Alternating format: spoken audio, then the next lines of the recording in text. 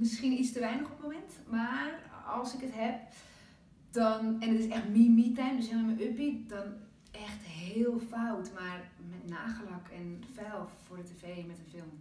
Heerlijk. Nou, eh, ik denk, ik ben ook niet heel goed in time management, geef ik eerlijk toe. Eh, dus ik kan soms over iets wat misschien in vijf uur gedaan kan worden, pak ik er rustig acht of tien eh, voor. Maar daardoor ben ik wel altijd heel erg blij met het eindresultaat. Dus ik weet niet of ik het ga veranderen. Misschien wel, want soms zegt mijn zoontje, mama werken? En dan zeg ik, ja, meer werken. Dus dat is soms wel een beetje pijnlijk.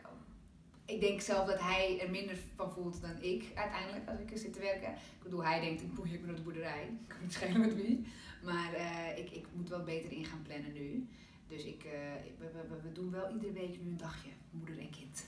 Ja, ik zeg ook eerlijk, als ik klaar ben met werken en het kan om 12 uur zijn, dan kan ik echt nog genieten van eigenlijk het moment voordat je gaat slapen. Dus sommige mensen zeggen, zo, lekker snel in bed, kan ik nog 8 uur pitten. Dat had ik voorheen wel heel erg, maar nu denk ik, nou ik ga liever om half twee slapen, maar dan heb ik anderhalf uur nog voor mezelf. Het is me zo dierbaar en kostbaar, want dan laat ik op in mijn hoofd, soort van. Niemand die met me praat, niemand die op de telefoon iets aan me vraagt. Echt helemaal voor mezelf. En dan, het liefst kijk ik dan echt gewoon een, iets, iets zwijmeligs, ik weet niet. Of een boek. Maar, dat, maar dan val ik altijd wel in slaap.